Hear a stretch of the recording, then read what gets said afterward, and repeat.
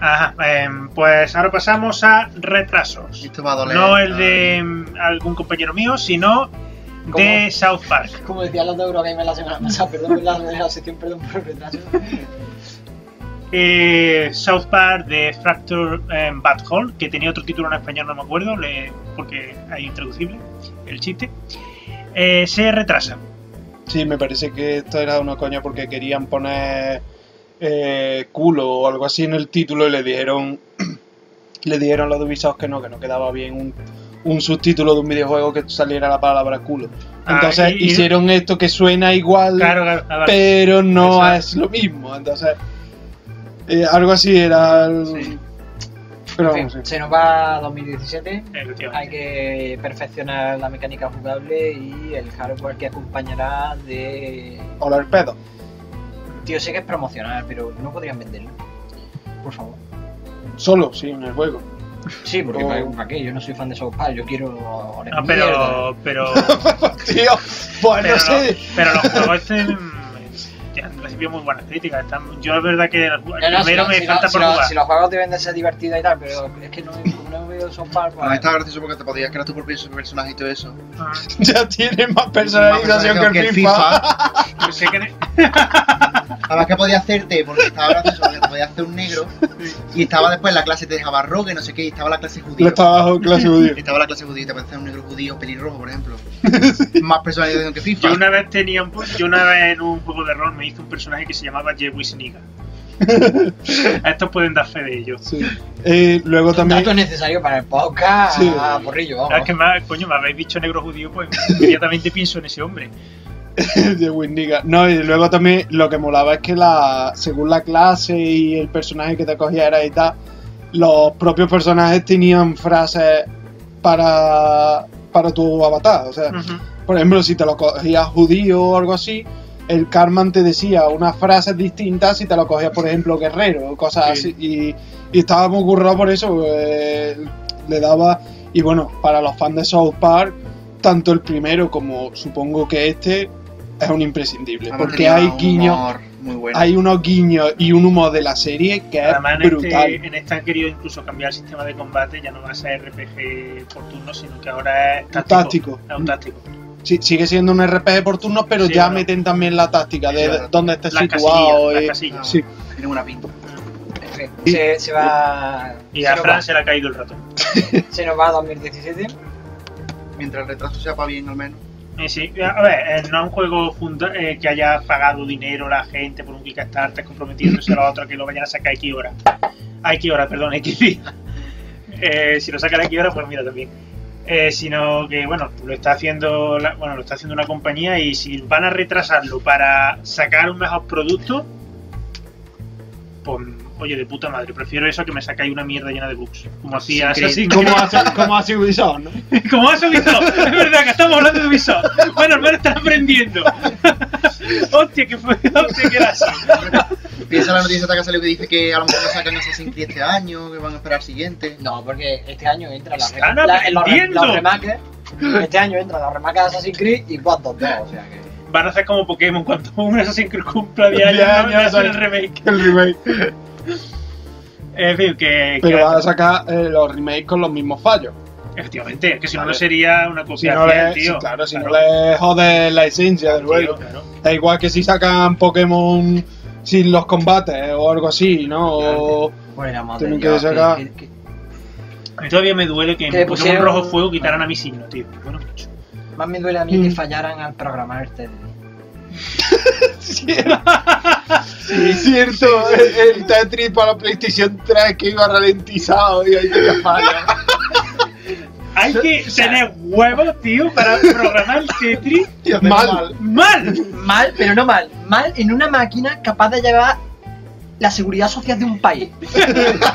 Con capacidad de procesación suficiente para lanzar un misil. Creo que quería decir procesamiento, ¿no? O procesación. Alguien tenía un trabajo y lo perdió. El procesamiento, proce- no procesamiento, procesización, no. Alguien tuvo un trabajo y lo perdió. Da igual, en este programa siempre inventamos palabras. Sí, Habla- Hablamos de rumorología, ¿no? rumorología. O el. ¿Cómo era? Eh, lo que dijimos el otro día, lo de. El homónimo.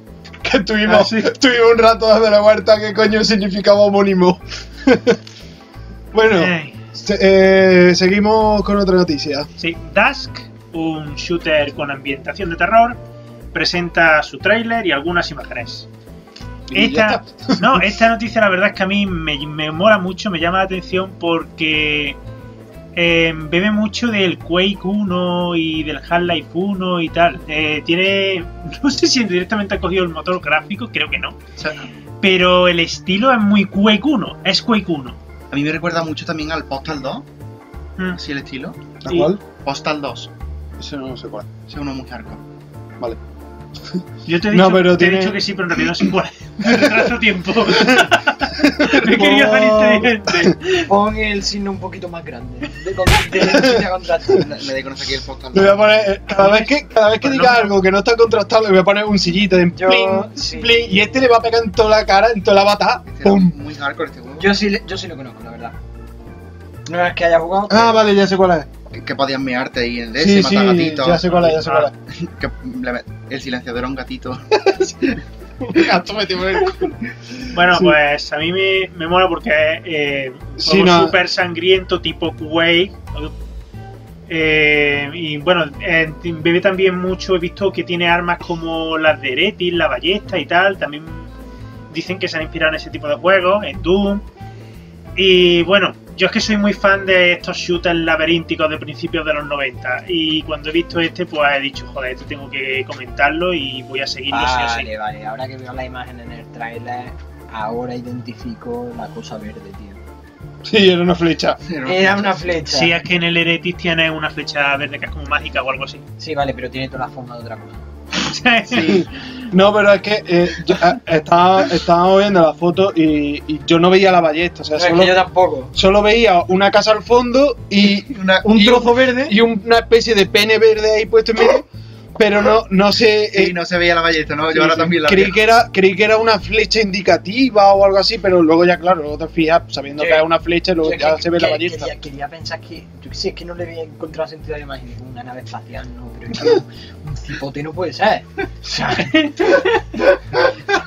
Sería demasiado burdo, ¿no? o sea es, es, es rabalero hasta, este- hasta para este programa. Para un cipote. sé. en fin, un juego en el que sale cipote. Pasa- pasando a. Ay, muero. Eh, bien, eh, pasamos de noticia porque eh, la siguiente es Shadow Tactics, Blades of the Show. Llegará a PC el próximo día 6 de diciembre. Bueno, el próximo día. Bueno, el próximo. El próximo Pero- seis. próximo, ¿eh? el- Alguien se coronó ah, vale, sí. Se, se cubrió de gloria. Sí, sí. O sea, el Eh, 6, de, el 6 de diciembre, pero ¿de este año o de Sí, el, 2017? el- el próximo, el próximo.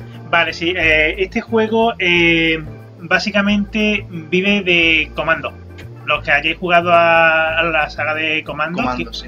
teníais tres agentes, cada uno con roles distintos. Uno era el espía, otro era más de combate, otro El era. bueno verde, eh, sí, el, francotirador. el francotirador, el espía que se camuflaba. yo es que jugué solamente a Comando 2. Ah, y ahí tenía 7.